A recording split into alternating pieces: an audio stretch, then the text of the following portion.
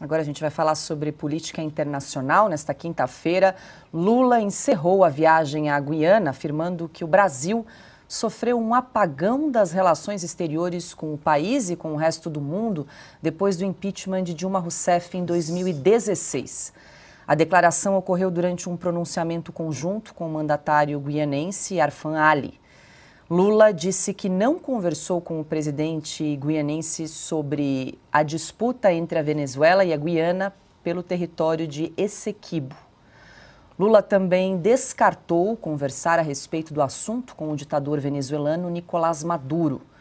Os dois devem se encontrar nesta sexta-feira na reunião da cúpula da Comunidade de Estados Latino-Americanos e Caribenhos, a CELAC, em São Vicente e Granadinas, no Caribe.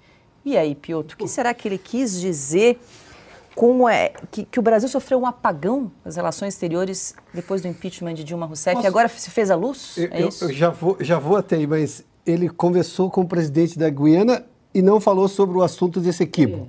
E disse que também não vai tratar desse assunto com Nicolás Maduro. Ele teve apagão. E, então, tá fazendo o quê? Então nós ah. estamos com um apagão diplomático do presidente brasileiro. Porque, ué, esse é o assunto esse é o assunto principal, que obviamente tem uma importância gigantesca também para nós no Brasil.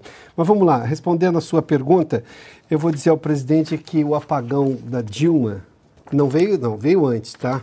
Mas o apagão foi recuperado depois quando a Petrobras fez um acordo nos Estados Unidos pagando 3 bilhões e 600 milhões de reais, acho que eram 800 e poucos milhões de dólares com a justiça americana, justamente por causa das denúncias de corrupção. É, da Petrobras durante o governo Dilma e também governo Lula. Outro acordo de 3 bilhões uh, de dólares, nesse caso, em três parcelas que a Petrobras pagou para indenizar quem comprou ações da empresa entre os anos de 2010, opa, governo Lula, e 2014, governo Dilma Rousseff.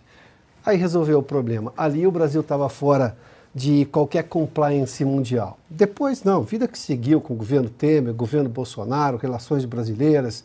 Aliás, o Brasil, por exemplo, foi um, foi um destaque mundial na recuperação pós-pandemia.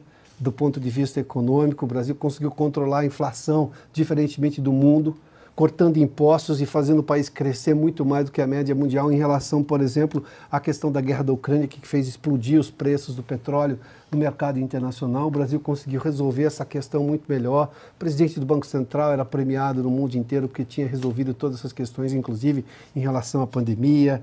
Bom, o governo brasileiro foi lá e resolveu a questão de fertilizantes. O Brasil faz comida para um bilhão de pessoas no mundo. Ou seja, nós temos excedente de comida. Sem o Brasil, o mundo passa fome. Só para entender, tinha um problema do fertilizante dado o conflito entre Rússia e Ucrânia. O que, que aconteceu? O presidente brasileiro, então Jair Bolsonaro, foi lá e negociou ainda uma redução, uma, uma, uma, importação também de óleo diesel, porque nós precisamos transportar a matriz, a transportadora brasileira é rodoviária, seja movida por caminhões.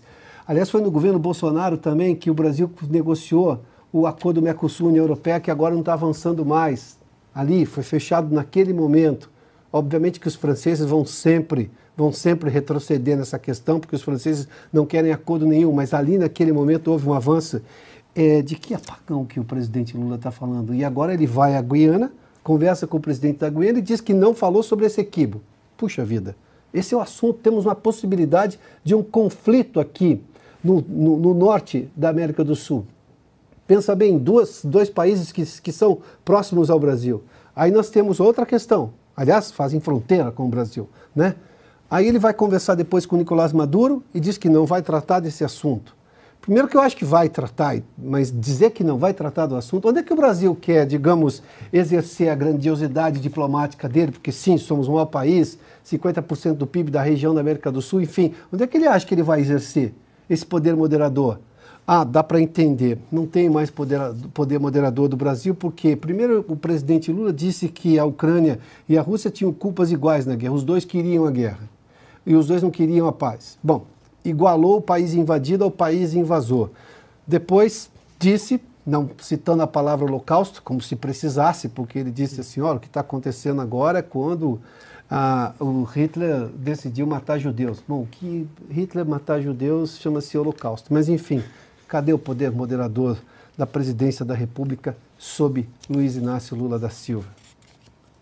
E aí, Cauti, Lula disse que não conversou sobre a questão de Essequibo com o presidente da Guiana, mas ele foi lá e inaugurou uma sala com o nome de Lula na Guiana. Isso ele, ele conseguiu fazer.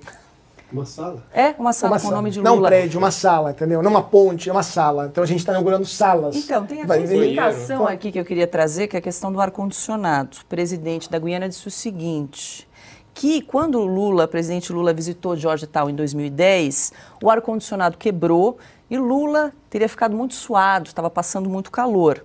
E aí o presidente da Guiana seguiu com a reunião e a a parte, no, no, verdadeiro espírito do Brasil, do presidente Lula, de determinação cons, consistente, ele continuou a reunião. A imprensa só foi autorizada a participar deste início da reunião. Então, por conta aí do, do ar-condicionado, Lula recebeu uma sala com o seu nome na Guiana, mas o caso de Essequibo não foi... Heróico. Não foi tocado.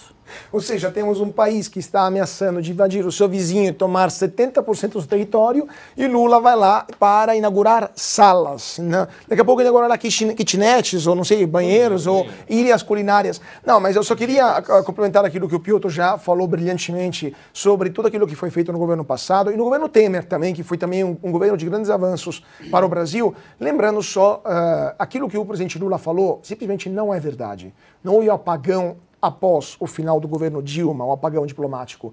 Dilma foi o apagão diplomático do Brasil. Porque é só pegar um caso, assim, um dado só.